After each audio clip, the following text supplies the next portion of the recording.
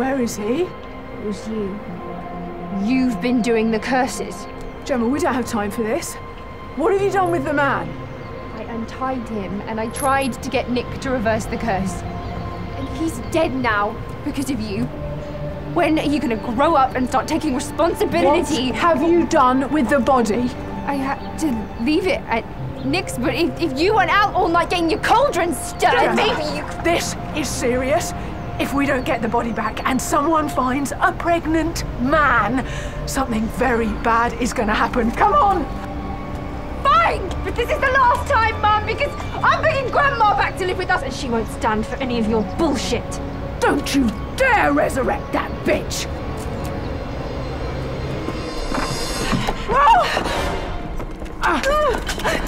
The warning of the circle fell upon deaf ears. Mum, who are the circle?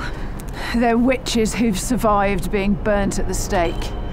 And now feel it's their duty to police anyone else doing witchcraft. But as I told them before, I haven't done any magic. We're here for the girl.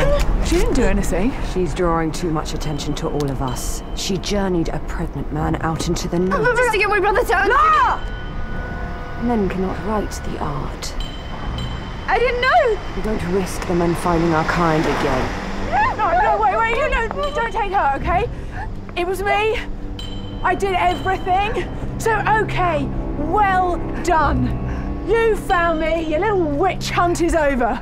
But guess what?